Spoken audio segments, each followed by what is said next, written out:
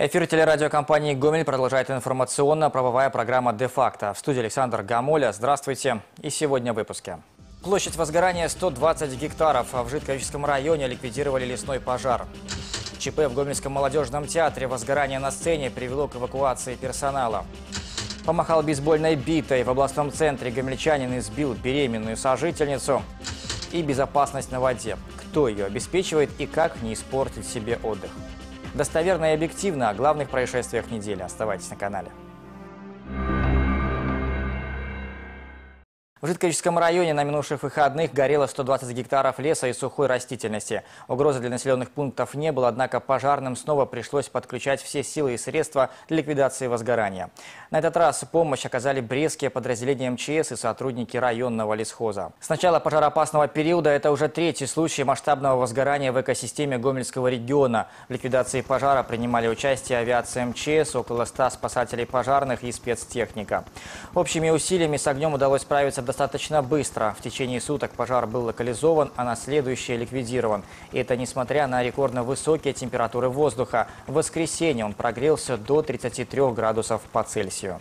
Предположительная причина э, пожара, в принципе, она сейчас устанавливается. Э, По данным фактам, сейчас на всей территории Гомельской области действует запрет на посещение лесов. Виновные лица, которые будут э, нарушать данный запрет, будут привлечены к административной ответственности. Продолжаем выпуск. На этой неделе работники Гомельского молодежного театра были вынуждены экстренно эвакуироваться из здания в результате пожара, который произошел прямо на сцене. Небольшой переполох вокруг здания молодежного театра произошел во вторник около полудня. На место происшествия были направлены несколько пожарных расчетов. Сотрудники ГАИ перекрыли движение по проспекту Ленина. Образовалась автомобильная пробка, разрешение на проезд ожидала вереница троллейбусов. Пожарные оперативно проникли в здание и смогли ликвидировать очаг возгорания. Произошел пожар на сцене молодежного театра. Э, Коротнула, скорее всего, предварительно электропроводка и произошло загорание декораций. К моменту приезда спасателей работники театра уже находились снаружи здания. Помещение наполнилось дымом.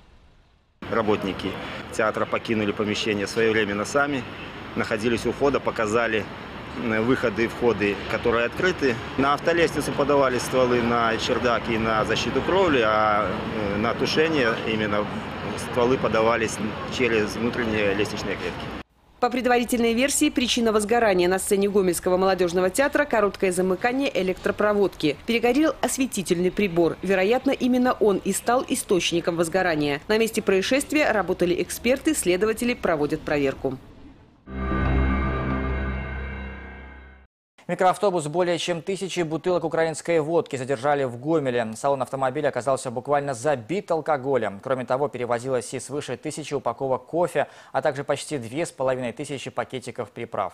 На товар у водителя нигде не работающего местного жителя документов не оказалось, а на бутылках с водкой отсутствовали акцизные марки Республики Беларусь. По предварительным данным, вся продукция попала в нашу страну через Российскую Федерацию, а закупалась в Украине. Сотрудники милиции предполагают, что вся партия товара предназначалась на продажу. Ответственность за такое преступление предполагает крупный штраф и конфискацию товара. Всего изъято товароматериальных ценностей на сумму порядка 250 миллионов. В настоящее время проводится проверка. Материал передан в МНС железнодорожного района э, города Гомеля. В последнее время контрафактная продукция на территории Гомеля, к сожалению, не редкость. Ранее на рынке Давыдовский областного центра у одного предпринимателя из России сотрудники отдела по борьбе с экономической преступностью взяли партию планшетов и различных гаджетов. Всего порядка 400 технологичных устройств. Нарушитель торговал ими с рук, безо всяких разрешительных документов. Товар изъят, его стоимость составила более чем 680 миллионов белорусских рублей. За данное административное правонарушение предусмотрена мера ответственности, такая как наложение административного взыскания в виде штрафа в размере от 10 до 50 базовых величин на физическое лицо. Следственном комитете на этой неделе возбудили уголовное дело против мастера Ветковского районного узла электросвязи, который причастен к гибели электромонтера. Во время демонтажа линии электропередач произошло обрушение осветительной опоры. Рабочий сорвался с нее и получил травмы, несовместимые с жизнью.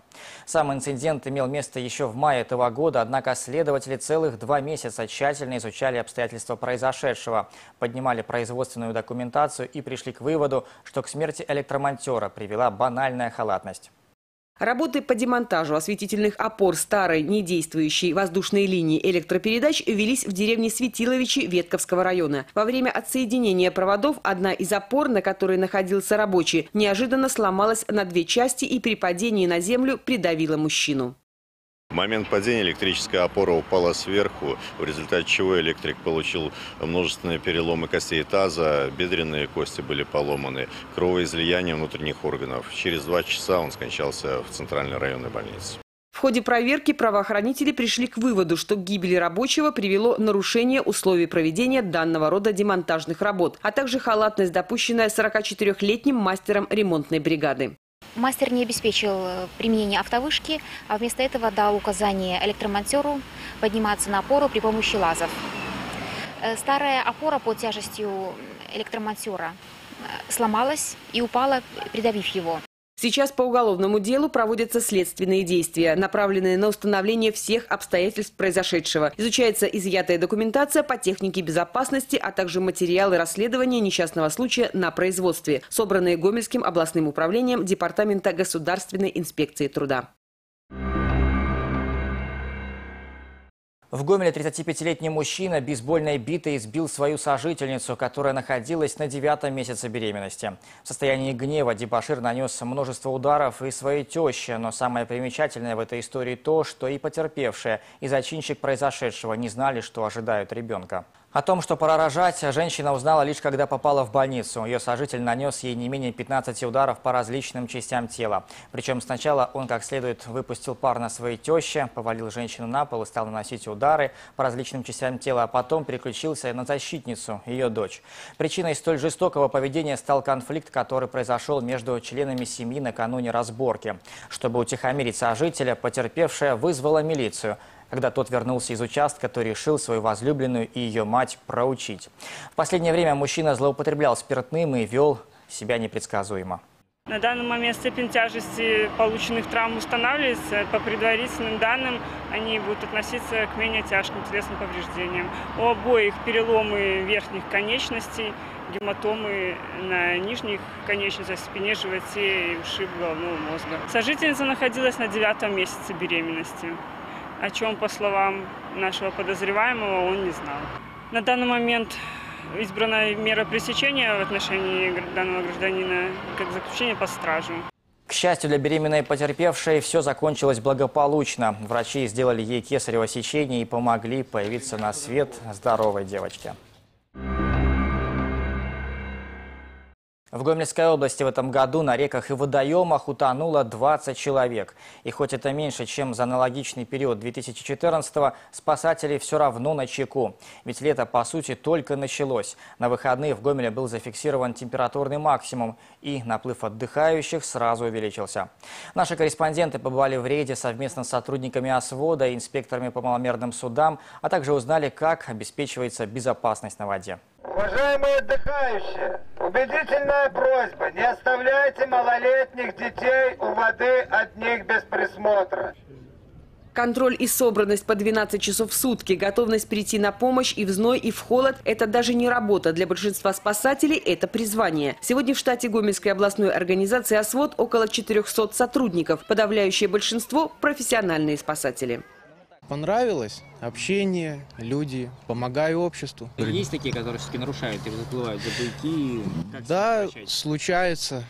Предупреждаем. Если не реагируют, тогда вызываем наряд, забирают.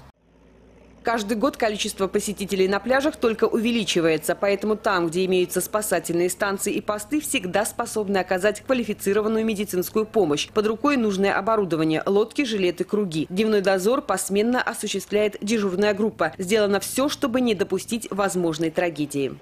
То есть, если мы наблюдаем, когда человек ведет э, себя таким образом, что, что э, это может закончиться э, трагедией, его стараемся предупредить. Вот предупрежденных таких несчастных случаев с начала года 2041. И 814 из них это именно с несовершеннолетними. С начала года в Гомельской области жертвами беспечного поведения на воде стали четыре подростка. Только на реке Ипуть два случая утопления за неделю. Как всегда, детей потянуло на стихийные пляжи, водная акватория которых в большинстве случаев опасна и непредсказуема. Можно сколь угодно долго говорить о возможности или невозможности да, постоянного контроля за 15-летними, 16-летними подростками. Ну, вот, но в любом случае практика показывает, что именно если бы э, за ними осуществлялся присмотр, надлежащий контроль, этих несчастных случаев можно было бы избежать. В этом году наблюдается и рост травматизма. Не зная дна, люди ныряют и получают переломы, порезы и другие травмы. Все это нередко подкрепляется употреблением алкоголя и заканчивается печальными последствиями. К примеру, как на озере Святое в Рокачевском районе. Из-за нетрезвого водителя гидроцикла погиб судоводитель моторного катера. Первое маломерное судно столкнулось со вторым на полном ходу. Два пассажира водного мотоцикла и водитель были госпитализированы. Там нарушений было очень много, и совокупность этих нарушений от разных людей привела к тому, что произошла авария, аварийный случай с погибшим человеком, а погибших могло быть и больше. Повезло тем, кто был вин, вин, виновниками этой аварии, что они сами находились в жилетах. Наличию спасательных жилетов у отдыхающих уделяется особое внимание. Госинспекторы по маломерным судам строго следят за этим во время плановых рейдов. Инспекция по маломерным судам. Проверка документов.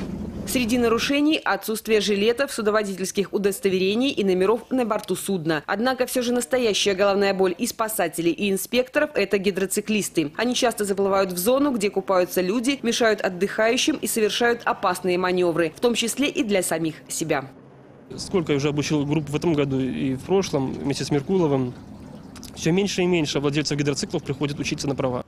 В борьбе за безопасность хороши многие методы, но самый эффективный – это повышение сознательности населения. В этом уверены даже сами отдыхающие. Каждый должен сам за свою безопасность волноваться. Больше внимания взрослых, чтобы они смотрели своих детей, меньше алкоголя. Сам себя в первую очередь надо глядеть. А там уже спасатели. Да.